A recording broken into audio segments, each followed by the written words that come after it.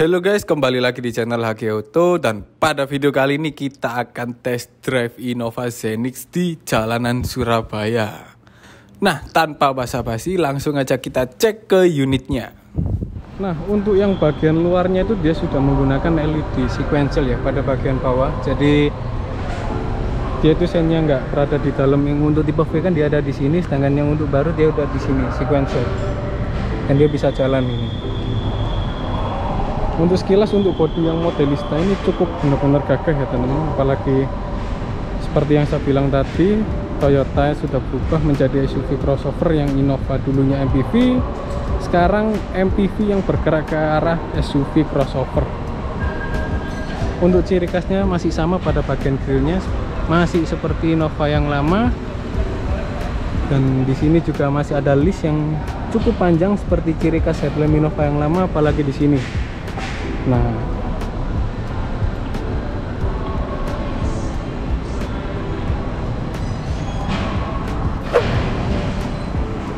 Nah ini untuk bagian belakangnya. Jadi banyak yang bilang mirip ras cuman menurut saya ini dia itu mirip Land Cruiser ya. Jadi bentuknya itu kotak-kotak. Gagah banget. Apalagi yang Land Cruiser itu mobil dari SUV termewahnya Toyota mirip banget sih ini sama Land Cruiser apalagi dia itu yang mengkotak itu teman-teman. Jadi terkesan gagah dan mewah.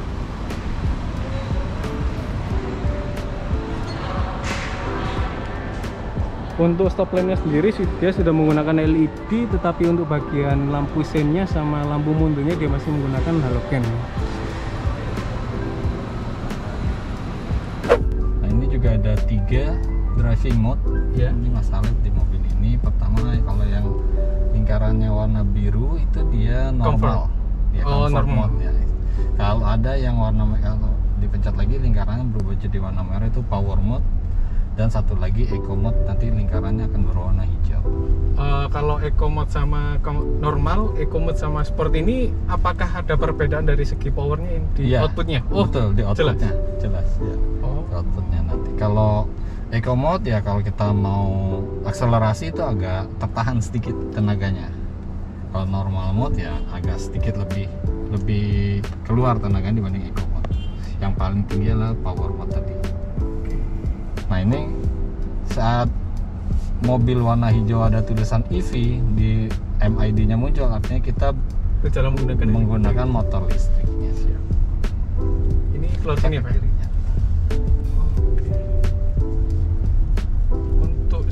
Sebenarnya sih kalau perbedaannya kan karena dia sebelumnya letter ya pak ya?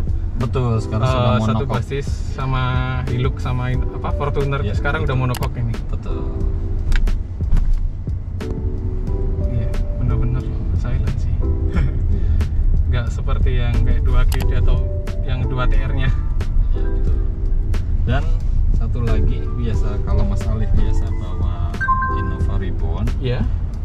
kita bisa terhalang ya. Iya karena kiri spotnya lumayan betul. Ya. nah ini sudah diperbaiki nih sama Toyota.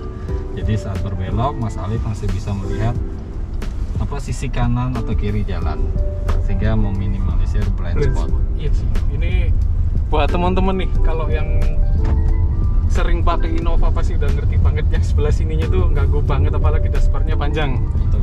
Nah untuk yang sekarang ini bener-bener beda ya apalagi dashboardnya dia itu nggak setinggi yang dulu ya pak ya? Iya. Sama pandangan ke depan itu lebih jelas. Ini rutenya di mana ya pak rutenya ke Kedung Doro jadi nanti lampu merah kedua kita ke kiri. Oh ini kanan dulu? Ini, ya, ini lurus dulu. Oh lurus lampu merah sana kita oh siap. Nah saat berjalan gini fitur TSS nya Mas Ali bisa aktifkan dengan cara memencet tombol yang ya. ini? Nah. oh. Nah ini sudah aktif Mas Alif tinggal lepas aja sih. Ya, tinggal oh. lepas gas. Iya, apa kan nanti dia bisa kiri sendiri? Uh, enggak, kalau oh, ini kiri, Bapak? Ya, ini ke kiri. Dia hanya kalau Mas Alif injak pedal rem dia akan off. Fitur oh, TSS-nya. iya. Dan uh, dia tuh sudah ada apa? Uh, yang setirnya itu ya? Iya, sudah stability lane-nya itu. Ya, untuk tra apa lane tracing alert, lane tracing assist dan lane departure alert tadi. Asal marka jalannya bisa terbaca dengan jelas uh, ya sih karena tadi sebenarnya waktu saya coba nyalakan itu setir setirnya kayak ketahan gitu sih. Iya. Iya. Karena dia aktif tuh LDA dan LTA nya aktif. Kecepatan di kecepatannya Dua bisa puluh. Mas Alif sesuaikan. Ya Udah ini kan kecepatan 35 25 bisa aktif nih. Ya nah jadi artinya Iya. adalah so- misalkan kecepatan maksimum mobil ini 35 km per jam untuk untuk menggunakan fitur TSS ini oh tapi fitur TSS ini kecepatannya bisa diatur sampai maksimum 180 km per jam tapi minimumnya 30 km per jam 30 km Ya. Nah, kadang kita perlu membiasakan nih Mas Ali. Iya. Kadang orang kan nggak terbiasa atau mungkin masih uh, ragu-ragu ya, karena tidak terbiasa menggunakan fitur TSS ini. Apabila ada objek yang mendekat ke kendaraan ini, maka dengan fitur TSS tadi dia akan melakukan pengereman secara sendiri otomatis. Oh, jadi eh, beda ya sama yang di race itu karena dia kan udah 3.0 ini Ya betul, TSS 3.0. sama menurut buat teman-teman ini update terbarunya ini transmisi CVT-nya itu bener-bener halus banget sih Ya, beda sama yang dulu konvensional gitu betul. Perpindahan giginya hampir tidak terasa. iya perpindahan gigi karena sudah menggunakan eCVT tadi. oh eCVT bedanya sama yang CVT biasa apa ya pak ya? eCVT itu dia lebih halus bahwa gearnya itu lebih halus lagi oh sehingga hentakannya itu hampir tidak terasa Iya. perpindahan. Nah, untuk posisi di kota kayak gini nih, dia posisi EV ini benar-benar bisa menghemat sekali ya, Pak ya. Untuk Iya. konsumsi di kota berkisar berapa ya, Pak? Eh, kalau kemarin pada saat test drive itu bisa eh, sampai ada yang satu banding 19. Oh, satu banding Iya. 19. Sama dia sih pakai mesinnya Lexus UX. Kalau pernah kemarin baca itu, jadi mesinnya itu dia sudah menggunakan Lexus UX yang versi 250 hanya. Jadi versi hybridnya dari UX. Beda basic teman-teman sama punyanya Corolla Cross dan satu lagi itu hybridnya Toyota itu apa Pak? Altis. Altis. Iya. Nah, Sudah ada kamera 360. 360-nya juga. Dan sudah ada ini panoramic roof. Panoramik. Iya. Bisa dibuka ini. Bisa dipencet ini. Oh ini ke mana? membukanya di, ya, Oh udah elektrik panjang banget ini. ditahan aja sebentar tahan. oh ditahan sebentar dia sih. Seperti auto ya. sih. untuk sunroofnya juga sudah bisa dibuka ini sebelah sini. Oh yang ini sebelah sini.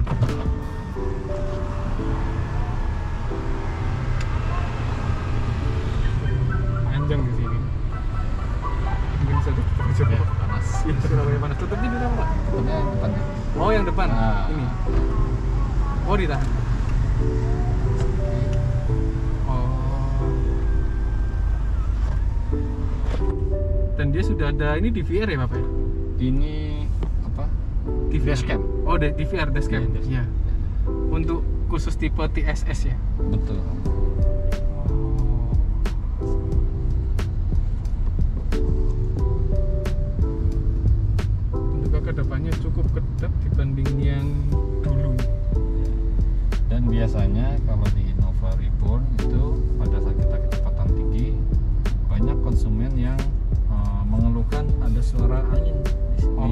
Di iya. sela-sela pintu ini Iya. depan terutama ya Sering juga sih karena kita juga ada bengkel peredam jadi sering banyak dulu yang bilang kalau mungkin dari suara road noise-nya itu kendalanya. nah ini sudah Maksimalkan. dimaksimalkan sehingga tidak ada lagi suara angin yang masuk saat di tinggi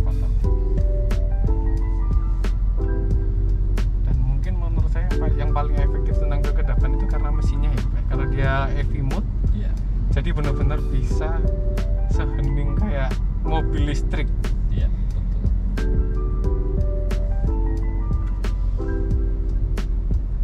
Dan tipikal bawa mobil mahal itu teman-teman. Kap mesin itu sejajar dengan stop lamp mobil di depan itu kita bisa merasa kalau mobil kita itu tinggi banget jadi kayak gagah Innova yang terbaru ini. Dan rumornya itu Innova yang terbaru ini sudah mengarah ke SUV crossover. Jadi kuat di skala medan ini cuman dari perubahan ke RWD ke FWD itu buat teman-teman yang masih punya statement FWD tidak bisa nanjak itu itu sudah jadul banget ya Bapak ya. Betul. Karena yang baru ini pasti sudah bisa banyak itu yang udah coba itu dibawa ke gunung itu Kuat. masih kuat. Jadi nggak perlu diragukan lagi nih yang terbaru ini. Dia juga sudah dilengkapi dengan hill start assist Oh, waktu nanjak ya. Waktu ya? nanjak eh, Mas Alif berhenti di jalanan nanjak tadi Dia tahan dengan. HSA itu dia menahan mobil supaya tidak meluncur ke belakang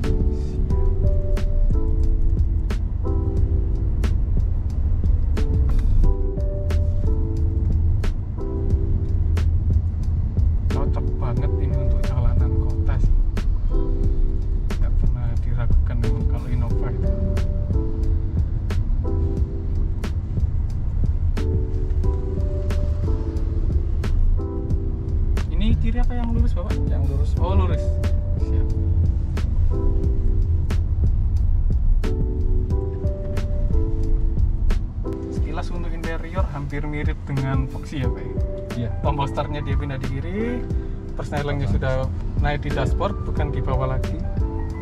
Dan untuk tipe Q ini ada wireless charging Mas. Alif jadi di sini. Ada oh wireless iya. chargingnya. Seperti yang di Veloz ya bapak? Iya betul. Oh. Jadi Boleh untuk, dicoba. untuk handphone yang bisa wireless charging bisa dicoba di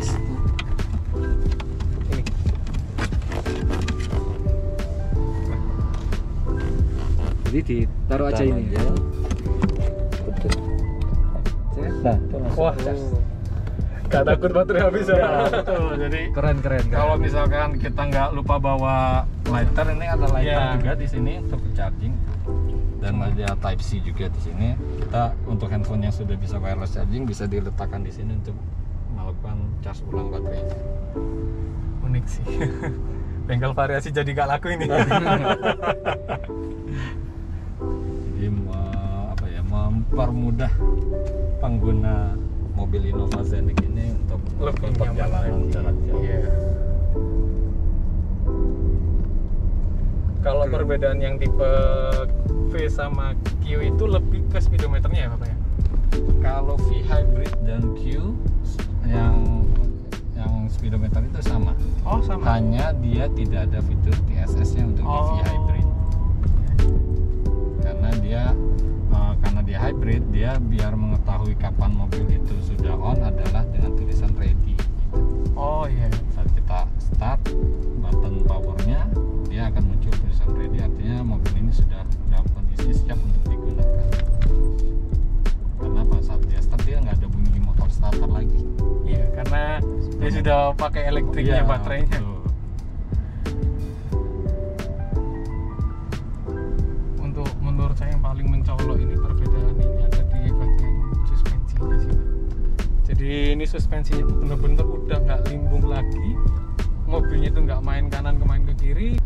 Sebenarnya kalau yang dulu itu suspensinya dia dependent, sedangkan yang baru ini sudah menggunakan independent. Jadi lebih comfort lagi lah.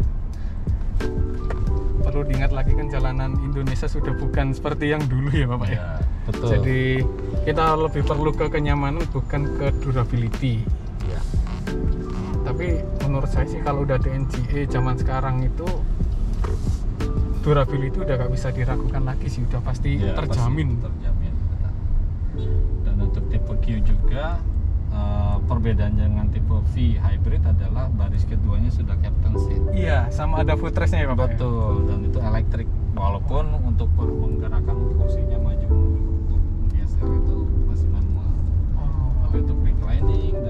footrestnya itu sudah elektrik semua Eh, sebenarnya buat teman-teman yang tanya kenapa kok maju mundurnya masih manual itu karena sebenarnya kursinya kalau mau masuk ke roll ketiga itu maju ya Bapak ya? iya betul Iya itu sih.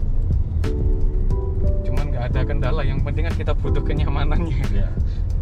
Ada footrest itu wah, udah mewah banget. Jadi kalau kesan test drive kali ini tuh menurut saya dia udah SUV crossover yang basicnya itu kuat di skala medan dengan kenyamanan seperti ini dengan efisiensi bahan bakar yang satu banding 19 ya Bapak ya? Ya. Satu banding 19 cukup signifikan banget perbedaannya dari yang reborn dulu. Apalagi kenyamanan itu yang paling terutama. Karena perlu kita ketahui lagi karena Innova ini sebuah MPV ya untuk Innova yang hybrid ini dia saat kondisi baterainya itu full dia ada 8 kotak. Ini langsung masuk? Uh, yang Oh, yang depan. persyaratan lagi tadi oh yang tadi. Saat baterainya kondisinya full dia bisa melakukan atau dirubah menjadi full EV oh iya. Nah, makanya di sini ada tombol EV, EV mode, mode. Tuh. cuman sekarang masih belum bisa kondisi baterainya saat ini belum full jadi dia masih Iya. bergantian antara mesin bensin Yang ini apa? yang Oh, yang depan. yang Yang arah tadi. model Sheraton tadi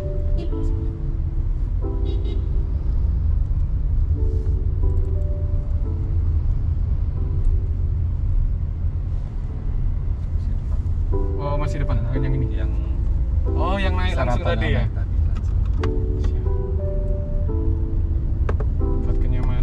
apalagi di Surabaya ini akhir-akhir macet terus ini Ya. cukup ini dan dengan mode EV mode itu saat dia aktif itu cukup signifikan untuk menghemat penggunaan Iya. bahan bakar.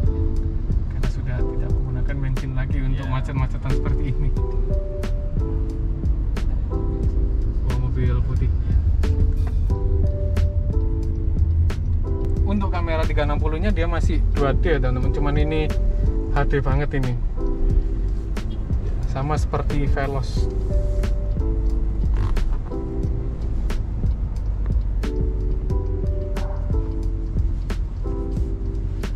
di sini juga ada tombol hold. Ini adalah brake hold, Mas Alif. ya Jadi eh, fungsinya adalah saat Mas Alif misalkan di kemacetan, Oh, dia memindahkan di, gigi dari B Iya. ke N, saat holdnya dipencet atau brake holdnya aktif, dia tidak akan maju kendaraannya walaupun Mas Alif melepas kaki dari pedal rem. iya seperti yang di Veloz itu sudah ada ya, Pak ya? ya sudah ada tinggal injek gas saja udah jalan Ya,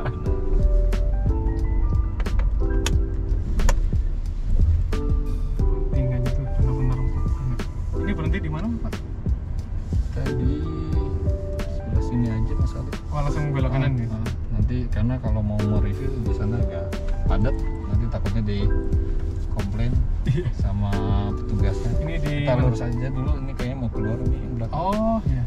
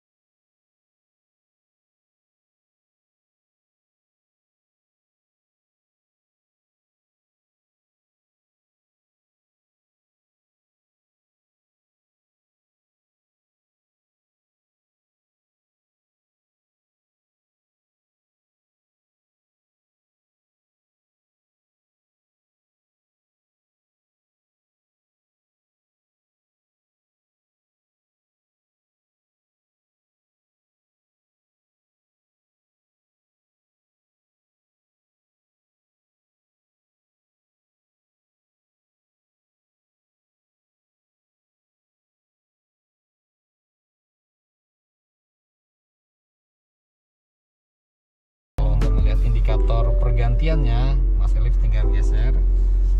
Isi. menunya terus lagi. Nah ini. Oh ini iya. adalah eh, menu untuk melihat indikator pergantian kapan mesin bensinnya aktif kapan dia melakukan charging saat kita melakukan deselerasi atau kapan dia menggunakan EV mode-nya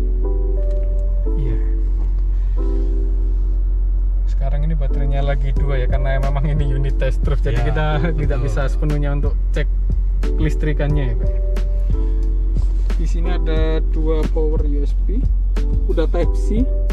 Jadi yang HP-nya mungkin iPhone yang bukan USB mungkin lebih mudah ya Pak. ada yang lighter Socket lighternya. Oke. Dan kebetulan ini karena siang hari jadi kita tidak bisa untuk lihat ambient light-nya ya Pak ya. Untuk ambient light-nya posisinya di mana ya Pak? posisinya ada di sini Oh ini, kita coba tutup ini. dulu ya Siap. biar Kelihatan. lebih terlihat ini. ya untuk mengaktifkannya ada tombolnya mas Adit di belakang sini yang tombol lampu sebelah kanan atas Oh, seperti di apa yang lama cuma di atas dipindahkan ke yang bawah ya. Ya, Ntar kita boleh pindah ke yang tengah Pak? boleh. Sambil ngobrol-ngobrol. Nah, untuk yang baris tengah ini footrestnya sudah elektrik nih. Oke, sekarang kita masuk.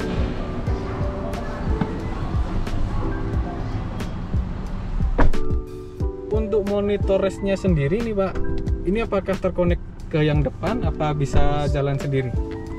Terkonek dan juga bisa diaktifkan sendiri Bisa sendiri. Ini bisa dinyalakan ya Pak? Ya.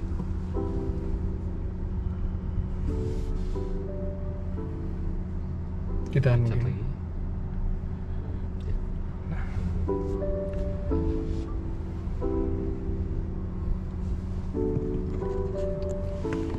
Untuk maju mundurnya ini masih di kanan ya Pak? Ya, Coba mundurkan masih sedikit. manual.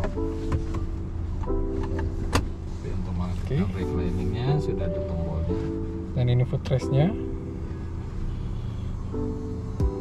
Wah. Tinggal cari supir. Bisa serasa Alphard ini. Betul. Sunroofnya itu udah gede banget ini teman-teman. Nah, ini seperti ini tampilannya layarnya. Ada aplikasinya, mari kita cek. Wow. Dia sudah beroperasikan Android, Android ya Pak ya? Iya, ada Netflix. Iya. Jadi ya seperti yang saya bilang tadi tinggal cari supir aja. Betul. Dan ini tidak terkonek sama yang di sini ya Pak. berbeda. Jadi Bisa masing-masing. bisa masing-masing buat yang satunya anaknya mau nonton YouTube, satunya Netflix Iya. bisa berfungsi dengan baik. Untuk kenyamanan ini karena oh ini ada baterainya Pak ya? Iya, itu posisi baterai hybridnya. Baterai hybridnya. Iya. Ini legroomnya ini panjang banget. baterai hybrid itu bukan di bawah body, tapi, Tapi di, bawah. cabin. Iya. Buat eh, center of gravity-nya itu dia lebih padat. Iya.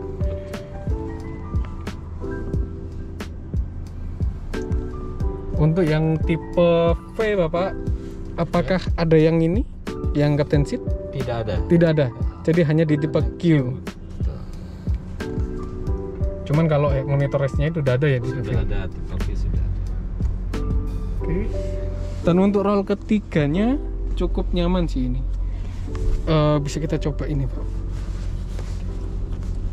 Ini auto apa manual? Manual. Manual. Oke, siap.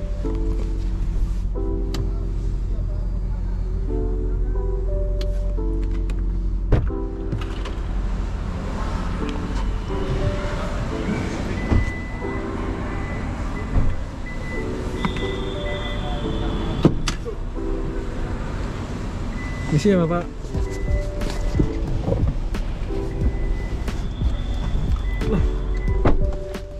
Bisa dimundurkan.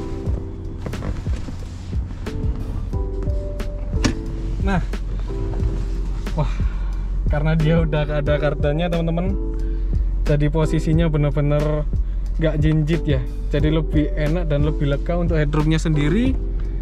Dia masih ada space, lumayan banyak, dan yang belakang ini bisa di reclaim mbak? Iya. Bisa? Di oh sini. Nah, tarik bisa di wah. Nyaman banget. Jadi buat kalian yang sering duduk di roll ketiga itu di Innova ini udah tidak ada kasta terendah dalam keluarga teman-teman. Jadi nggak perlu takut kalau perjalanan jauh kalian di posisi duduk ketiga ini masih kenyamanannya itu lebih dari cukup. Di sini ada satu buah cup holder. Untuk yang di bagian kiri ada power outlet. Jadi gak rebutan ngecas karena di sini banyak banget ini teman power outletnya. Oke, sekarang interior sudah kita bahas semua. Sekarang kita lanjut ke yang luar ya teman-teman. Ya.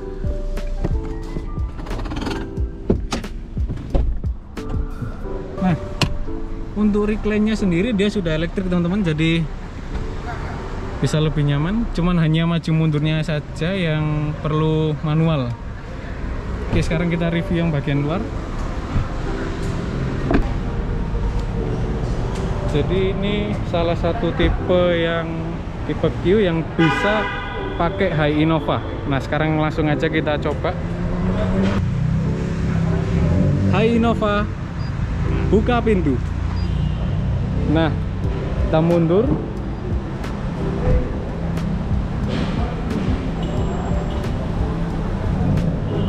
Hai Nova. Hai Nova. Buka pintu.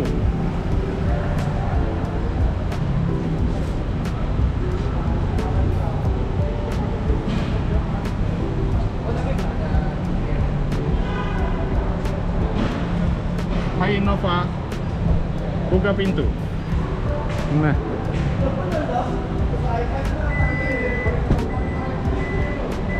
dan dia sudah menggunakan power tailgate. Jadi buka tutup itu nggak perlu ribet. Apalagi kita bisa High Nova buka pintu. Nah. Untuk sensor kaki apakah ada pak sensor kakinya Tidak ada. oh tidak ada jadi penutupnya Mas Alif tinggal bicara Hai Innova Tutup pintu. sekali tutup pintu nanti dia Oh. bikin kode Nah, untuk bagasinya sendiri ini cukup luas. Apalagi kalau kita reclaim kan yang dulu itu kan posisinya melipat ke atas, sedangkan yang baru ini dia tidur ke depan ya, Pak. Ya. Jadi harusnya bisa lebih luas ini. Coba kita coba.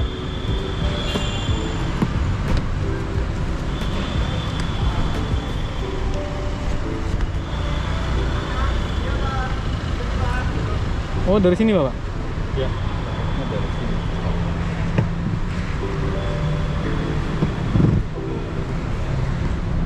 Jadi untuk recline-nya sendiri cuma dari sini, nggak perlu ribet-ribet. Nah, dan dia sudah rata lantai. Posisinya itu benar-benar lega, kita bisa mau bawa apa aja itu bisa. Jadi karena yang dulu itu posisinya kan karena di atas ya teman-teman. Jadi buat yang bawa barang yang tinggi-tinggi atau yang kotanya itu besar-besar itu mungkin bakal ribet. Nah, sedangkan yang baru ini dia sudah rata lantai dan untuk space-nya sendiri dari bawah ke atapnya itu cukup besar ya. Jadi lega banget kalau mau bawa barang yang mungkin buat mudik ya lebih tepatnya. Bawa tas yang banyak atau bawa oleh-oleh itu nggak perlu takut ini teman-teman. Oke, sekarang kita langsung aja coba untuk tutupnya. Hai Innova, tutup pintu. Oke, kita mundur.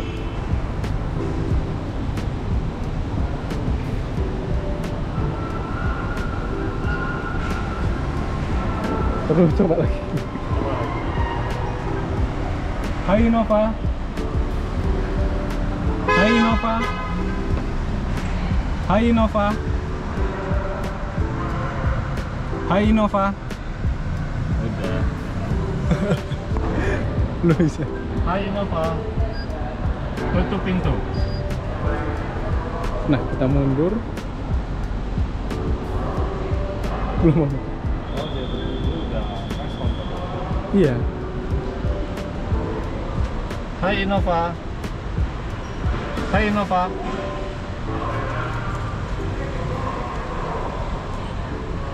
Hai Innova. Hai Innova.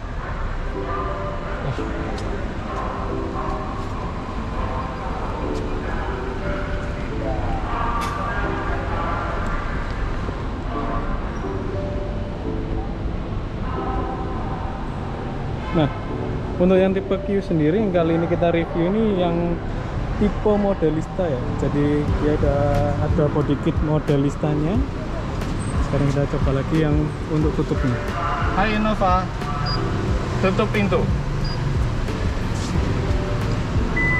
nah sekarang kita cek ini nutupnya apakah halus wah vakumnya itu halus banget untuk tipe Q sendiri yang kali ini kita review adalah tipe modelista ya jadi dia udah ada body kitnya velgnya dia beda dengan tipe yang V sama tipe G lebih berkesan mewah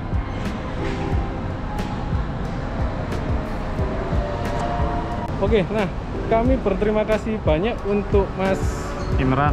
Imran jadi udah dikajak test drive. Innova sama jalan-jalan keliling Surabaya ya. Jadi so far untuk kesan dari video ini Innova Zenix itu benar-benar bisa diajak ke kota ya Bapak ya. Betul jadi sekali. buat macet-macetan di Surabaya seperti yang saya bilang tadi. Iya, betul sekali. Apalagi duduk tengahnya itu tinggal cari supir buat nyetir dan kita bisa merasakan kenyamanan lebih dari sekedar Innova. Tepat sekali Mas. Oke, siap. Terima kasih Bapak. Sama-sama Mas Ali. Sama-sama. Oke, sekian video pada kali ini. Jangan lupa untuk subscribe, like, komen, dan share video ini ke semua teman kalian. 对。